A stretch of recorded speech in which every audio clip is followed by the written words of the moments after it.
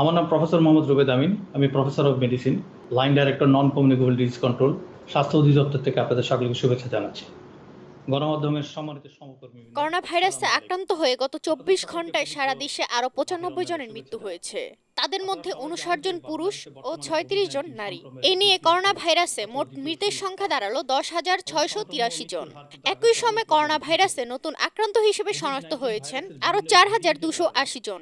এ নিয়ে মোট আক্রান্ত রোগীর সংখ্যা সাত লাখ বত্রিশ হাজার ষাট জন। বুধবার একুশ এপ্রিল স্বাস্থ্য অধিদপ্তরের অতিরিক্ত মহাপরিচালক অধ্যাপক ডাক্তার নাসিমা সুলতানা স্বাক্ষরিত এক সংবাদ বিজ্ঞপ্তিতে এ তথ্য জানানো হয় বিজ্ঞপ্তিতে বলা হয় চব্বিশ ঘন্টায় সরকারি ও বেসরকারি তিনশো পঁয়ত্রিশটি ল্যাবরেটরিতে আঠাশ হাজার পাঁচশো একষট্টিটি নমুনা সংগ্রহ ও আঠাশ হাজার চারশো আটটি নমুনা পরীক্ষা করা হয়। নমুনা পরীক্ষায় শনাক্তের হার পনেরো দশমিক শূন্য সাত শতাংশ।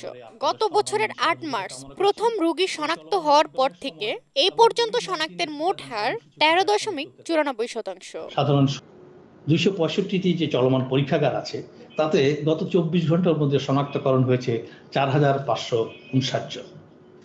আমরা আনন্দিত যে আমাদের যে অসংখ্য রোগীগুলো ভর্তি ছিল, তাদের মধ্যে এই চব্বিশ ঘন্টায় কিন্তু ছয় হাজার আটশো এগারো জন ইতোমধ্যে সুস্থ হয়ে গেছেন।